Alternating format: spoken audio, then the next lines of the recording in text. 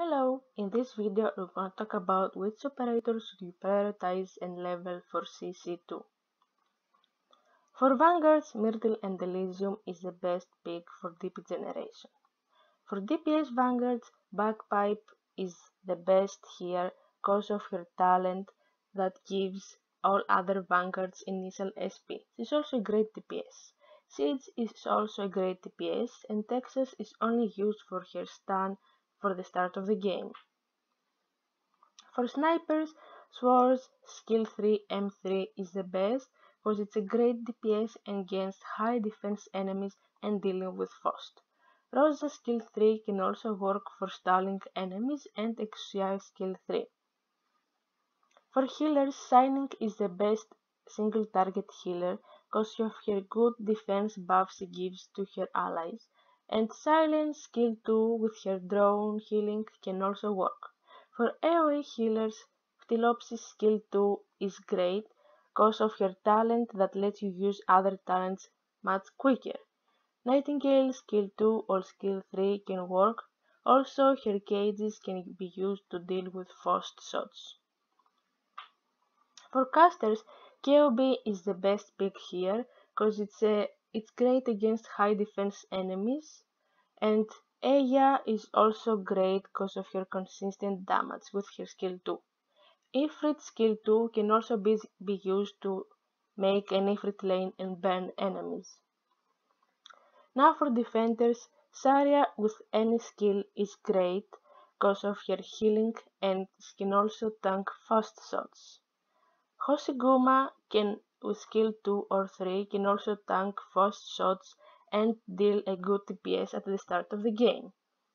Liskarm skill 1 is great because her skill 1 being able to charge so fast because of the enemies is great. Now, uh, skill 1 works exactly like Saria skill 1, so if you don't have Saria, you can use Nearl skill 1. Now for guards, there are many picks here. First is Spectre skill 2 M3, because of her undying effect can either tank fast or tank enemies at the top lane and kill them.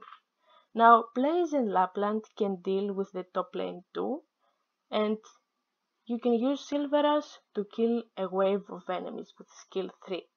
And Hellagur can also be used to solo the right and deal with Faust, the right lane. Now with supporters, Angelina skill 2 M3 is a great pick here, cause we don't need AoE slow, we just need it for single target slow and some DPS. Now Suzuran skill 2 or skill 3 can be used for her weakening effect and Pramanix the same. Also, Angelina's skill 2 charges much faster than her skill 3 and that works much better for us.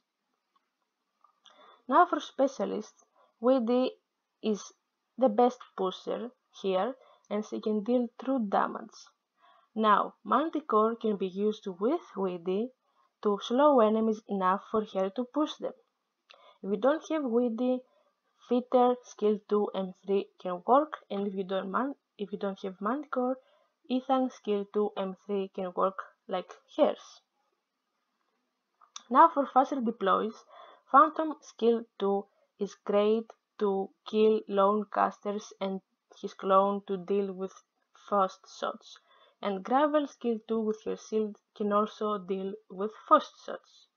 And that's all the operators you should prioritize and level for this CC. I wish you all good luck.